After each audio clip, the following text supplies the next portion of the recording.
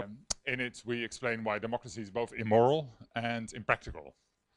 And, um, well, uh, the book couldn't have come at a better time now that many democracies suffer from enormous uh, social and economic problems. And uh, so let's see what kind of problems there are. Is there a, um, a no, not a pointer. Uh, ah, that's the one. Uh, after that, uh, oops, sorry. Well, after that, I will explain. I will, I, will, show you some graph five to indicate what problems democracies currently have on average, and that there's a clear trend in these problems uh, in the long term. And I will also explain why these uh, problems are inherent to the democratic model, why the uh, dynamics and principles of democracy lead to these problems. And uh, I will explain later on what the alternative would be and what ways we could be, uh, you know, follow to make democracy a bit more irrelevant. Oh, um, this is uh, the rise of government spending in modern, modern times. And as you can see, it has risen from about 10% in, uh, in, well, in 19, or 12% in 1913, 100 years ago, uh, to 50%. And this is on average of the major Western democracies. So it's enormous, and this is also, of course, pretty much aligned with the tax rate of course, stifling innovation or productivity, etc. Um, what button? Is this sound? Or doesn't seem to work. Maybe I, I pointed in the wrong direction.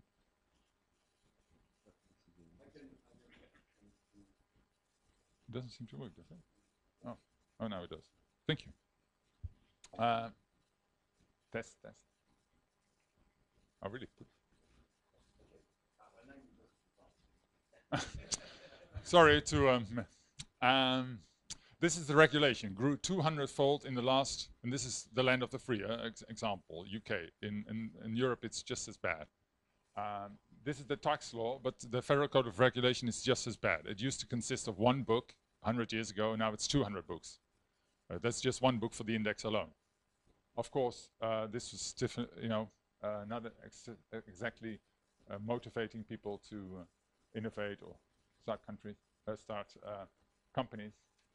Uh, the growing welfare state, of course, again, an example of the United States, which is considered less of a welfare state than, for instance, the Netherlands. And that is true. So in Europe, this is worse. And this is only since 1983. And with Obamacare, this, of course, will expand even more, so uh, higher than 50 percent. Uh, the print, print, print. Uh, the money supply has grown enormously. A dollar is only 2% worth or less uh, than it was 100 uh, years ago. Uh, in, in, well, again, democratic country, known for its freedom, blah, blah, blah. Um, but somehow these problems are never related to the democratic model itself because um, it is um, Oh, this is the last graph that I would show you. I think this is a very interesting graph. I'm very glad that I found it because it indicates that there's a real trend uh, also again over all the um, uh, democratic countries pretty much of growth, you know, almost coming to a standstill. And this, I, have I've calculated the averages and uh, in the 1960s it was on average 6.5% per year and now it's 1.4. And as we all know now, if we have, uh, if in the Netherlands, if we have 0.2, man, my God, we'll have a party. So um, we can see where this is leading to. And maybe this is the beginning of the end of the democratic model. I don't know. I, I don't like to make predictions, but if this trend continues, we'll, we'll you know, be in serious problems. But as I said, um, people still have faith in democracy. They don't relate problems to the democratic model itself. Um, it is a worldwide religion. I used to believe in it. 15 years ago, I was a great proponent of democracy. Uh, I didn't know much about it, actually nothing. I just believed the mantra. And I believe what the media, the educational system, the politicians told me, that it was the best thing since sliced bread. The only alternative was a dictator, blah, blah, blah. And um, most people still believe that. And after studying it and scratching the surface, I came to completely different ideas. And, well, democracy is pretty much uh, above any criticism. Uh, the way I criticize it with really, you know, front, uh, you know, frontally and without holding prisoners, uh, you, are regarding as a, you regard it as a enemy of the state. Uh, well, I take that as a compliment. but um, so that's remarkable, and I think it's important to, well, demolish that that stupid belief, because I think democracy is a form of collectivism, and luckily the experts agree. And one of the experts is uh, Karl Marx, who said the democracy is the road to socialism. And the, Socialist Party of the United States said that democracy and socialism are one and indivisible. And in my opinion, democracy is the idea that we can and often must decide on almost everything in society collectively. And there, uh, the decision that results from that process must be followed by everyone, also the people who are against it. It's one size fits all. And no money, no individual liberty, uh, no, no property is safe from majority rule. And just like as communism, fascism, the, um, the individual is subordinate to the wishes of the collective in a democracy. And it is socialism light. It is socialism through the back door because you think you get uh, liberty, but you get socialism. And it is evolving into more socialism, more collectivism. And it suffers from the same problems, I think, as communism and fascism, but to a lower extent, like corruption, centralization, loss of liberty, bureaucracy, economic stagnation. Uh, uh, well, for, if you want higher taxes, who have you voted actually during the last elections? Come on, don't be shy. You're amongst friends. Uh, I did on the Libertarian Party, but uh, very few actually. Very good, very good. Um, well, of course, the disillusionment. What are the problems of democracy? Well, there are many, many, but I'll uh, limit it to a few. One of them is the built-in short-term outlook of the people who run it, uh, of the people actually, also of the, not only the politicians, but also the, the voters, the citizens. Because um, politicians know that whatever they problems they create uh, through money printing or pension schemes that are too generous or whatever, um, they won't have to um, solve it. I mean, they will, uh, their successors will have to deal with the co negative consequences, and they can, and and uh, and and they themselves can uh, deal with the positive consequences. So, but the successors have their the same incentive, of course. Also, let's kick the can down the road. And you can see that in the amount of debt accumulated by the US presidents. And this was, uh, this is some older data, so you, we have to give Obama a bit more time. But he will, he will catch up, he will catch up. Um, the second is that uh, it's, it's a system in which uh, everyone tries to live at the expense of others, which makes legal what was normally illegal. Um, and everybody, as you can see, I hope everyone can pretty more or less read this, but everyone wants free education or corporate, corporate subsidies uh, and want others to pay for that. It's a giant redistribution machine and not necessarily from the rich to the poor. And of course this creates social tensions. And why? Because the winner takes all in a democracy. So that you can see that during the elections. Oh yeah, the, the others, they are the enemy. Whereas in the markets, you don't have that problem. People who decide differently are not your enemy another way, um, another thing with democracy is that it is not a very good way to either control or contain or direct government. Uh, they can pretty much do whatever they like sometimes, not, not always, of course. But uh, as we can see with the bailout of the banks, um, well, who was in favor of that? Very few. Uh, of course, there are lobby, lobby groups that have far more access to power than the average voter. I mean, most of the schemes he doesn't even know about. Well, there's so many laws. So, and uh, politicians never end up in jail for starting foreign wars under false, preten false pretenses or uh, uh, printing money till high heaven till no trees are left standing. or uh, breaking uh, election promises, no problem whatsoever. Uh, one of the most uh, persistent myths on democracy is that it is uh, equal to um, liberty. And that is, of course, wrong. Liberty is when you decide for yourself what to do and how to spend your money. And democracy is when the, demo uh, the, the, the, majority, well, in theory, uh, decides how to do it. Um, of course, we can see uh, during, in our daily lives that democracy didn't bring the liberty that we would like. I mean, uh, in America, you, you end up in jail, about a million people, I think, just for drug-related, uh, well, felonies.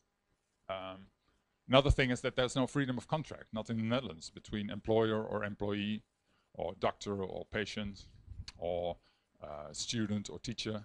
Uh, if you want to change something, a student would probably have to go to the capital and protest, and that's what they often do, to little avail, of course. And of course, in the Netherlands, you have 50% of your income, well, on average in the other democratic countries too, that you have to spend on the government. Um, another thing is that um, it's very persistent myth that democracy equates prosperity. Well, this is not true. Actually, the re reverse is true. We all know that uh, prosperity is a result of economic freedom and low taxes, little regulation. But it has nothing to do with democracy. Uh, democracy is actually, you know, uh, the reverse, because it is like going out for dinner with a hundred people and deciding up front that the bill will be split evenly. Of course, everyone has, has a very strong incentive to order that 10 dollar dessert and you will only pay 10 cents. This is called the tragedy of the commons. And everyone has this incentive. So the final bill will be much higher than anyone would like, but unfortunately, no one can do anything about it. So what's the alternative? Um, well, people expect me to come up with a model like, oh, we want, I, I will say there should be the three organizations there, and then blah, blah, blah, and they have, uh, they have these responsibilities and uh, balance and checks in there. I don't have that, and I don't need to have that. I just have a model, much better. I will explain that more later.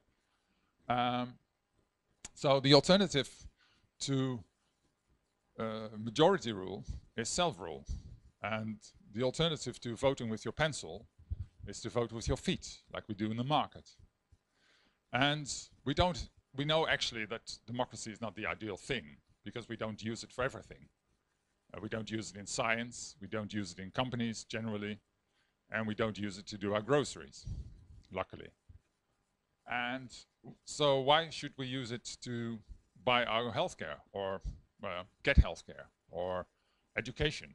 We could do that ourselves. And for that, we need decentralization to the level of the country in, uh, uh, when we speak about the EU, or uh, the level of the province, or the, the, municipality, or the individual. And we need, therefore, uh, you know, secessionist movements. Um, people say to me, well, and, and politicians, you know, say that too, we can't decentralize. We, sh we, should centralize with the EU and stuff. That's very important because we have to form an economic bloc against the uh, Americans or against the Chinese. But there are countries, and Switzerland is one example, that is no part of um, the, one of these blocks and is doing very well. But Switzerland is an interesting country on its own too, because it's internally, domestically, it's very decentralized, as we all know now. It has 26 cantons, on average 250,000 people, and they have uh, rather a lot of autonomy on healthcare, taxes, and education.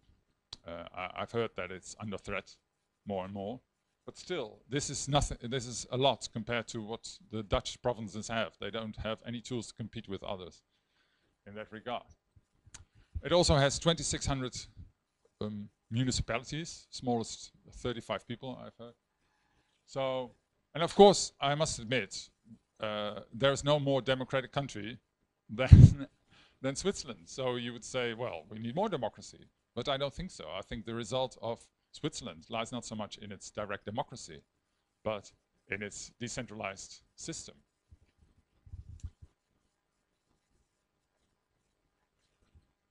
So therefore, we need uh, well, we have we need secession. We need more countries. We only have 200 countries in for 7 billion people in the world. That is not a market for governance. That is or for government services. That is more like a cartel. And therefore, we need secession because uh, secession is the safety valve against big government, just as the right to start a company is the safety valve against monopolies and uh, cartels in the free market. Well, in the free market, yes. Um, and an example of administrative secession, where you just become, you know, stay part of the country itself, but get more autonomy, uh, is Jura, which is French and Catholic. And in 1980, it was still part, till 1980, it was still part of the canton of Bern, uh, which was German speaking and Protestant, if I'm right. And so secession is, an, is, an, is a way of bringing back social peace because there was, some tensions arising. And, well, uh, it was done very peacefully and orderly.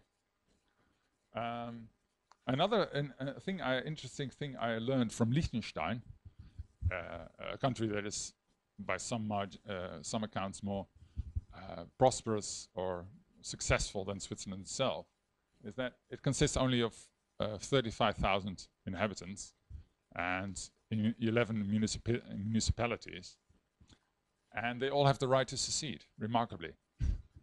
so um, can you imagine? I mean, it's almost like a, a small village that can secede and form a country. But still, Monaco is two square kilometers, so why not?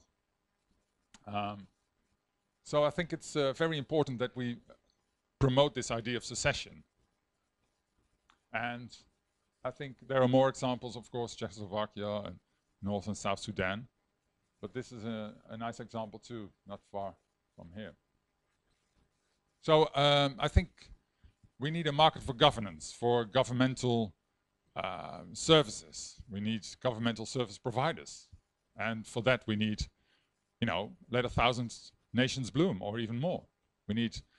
Um, so how would that Uh, play out? I think, of course, there would there would be countries that cater to religious people or to eco hippies or conservatives or, or you know capitalists, libertarians, whatever, and they would all compete for companies and people to come there. and um, they do not have to be democratically control, uh, managed or ruled. It could be anything in between authoritarian rule and uh, dem full democracy. And of course, in companies, we can see that the people who have a vote in the board are the people who, uh, you know, pay shares or bought shares, uh, paid into it, uh, who uh, you know, have special merits or special positions. And it's not just uh, one man, one vote. It can be a kaleidoscope of different influences uh, by different people. And of course, they, they would probably, if there would be enough small countries in the world, they would offer you a clear-cut contract. Say, well, you have you're going to pay this much for, for so many years. These are the rules.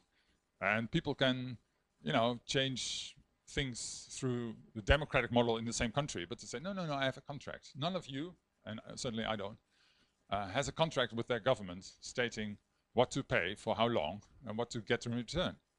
But, you know, I think if there were many countries like these, we would have more, uh, so, uh, more uh, legal certainty regarding this. Well, most people think that such a thing could not happen because we need. Um, am I over time? Oh. How many? Yeah, okay. Um, don't we need a central government or a central organization to order, uh, organize this? And I don't think so. We, we have examples of spontaneous order. And one of them is the internet on the right. And when I first was introduced to the internet in 1993, uh, my immediate question was, oh, who owns this? because before that, you had uh, companies like America Online who had their own networks. And I couldn't believe there was something like that that could just arise out of spontaneous order. And I think the same applies to the market for governance. And of course, you believe in spontaneous order for the free market, so why not uh, for the market for governance? So we need startup countries. And, uh, well, you could say that Singapore was a startup country, and Dubai is a very good example too, I think. They're not ideal, but uh, the, you know, they compete, which is good. More competition is better. Um, left is Shenzhen. And of course, it can be a special economic zone like Shenzhen. Uh, another thing is the charter cities. Currently, or lately, they tried to start one in Honduras. Unfortunately, it didn't succeed, but the idea still lives on. So that's good. Another example is by uh, Patri Friedman, Seastead. It might say, uh, it might sound a bit, you know, too far off, but uh, these uh, these are islands, floating islands in the sea, and they're very stable, and they can grow bigger, and they can deflate the, you know, the the, the balloon of big government in a way. So, this is not, of, of course, the only example, but it is an example. So we have we would have the contractual society, like I said, I think more than we do now. You have no legal certainty in a democracy. Uh, what was uh, illegal yesterday can be legal tomorrow. I don't know. They say well, we're going to give you a pension uh, when you get older. You paid for it, and they say, "Oh, I'm sorry, you're older now. No money, no cigar for you." So that's bad. So small is beautiful. Of the 20 most prosperous states in the world, 15 are lower, uh, smaller than 8 million people. Um, Liechtenstein, I think it's a it's a fantastic country. I sent my book to uh, Hans Prinz Hans Prince Adam Hans Adam II. Uh, he sent me a nice letter back. I hope he will read it. So the conclusion is that if you want more freedom, don't look at democracy. Um, if you if you think the democratic process will lead to more freedom, I think it's a distraction. Uh, I'm not against libertarian parties, but don't think you'll get ever the majority or something. There's something inherent into democracy in the model that we will never find a libertarian system. Um, so we need to promote the idea of secession. I think that's much better. Uh, and that can be in, in, various ways. Administrative secession, like free zones, or uh, provinces with more autonomy, or complete secession. Um, is, that, is that a viable option? And I think, well, you know, it's, it's difficult to say, but there are reasons to be cheerful, to reasons to be optimistic, because technology is a great democratizer, but in a good way, more than democracy itself, because it empowers the individual. And we could see that with iPhones, with the internet. Uh, people are, you know, the, the, the, poorest person in the world can start a web shop or uh, start a Facebook page. And people can organize in, in such ways. So this is a bottom-up approach that is, you know, now through the internet very well possible. And people empower themselves. People notice that they can sequence their own DNA. They can say, oh, I'm a master of my own health in a way. I don't need government in it or I don't need a doctor maybe. And hopefully this trend will continue to governmental issues too. And then we'll have more, more countries, uh, more secession. And we'll have a market for governance. And we can vote with our feet. And I think that is a good thing. Thank you.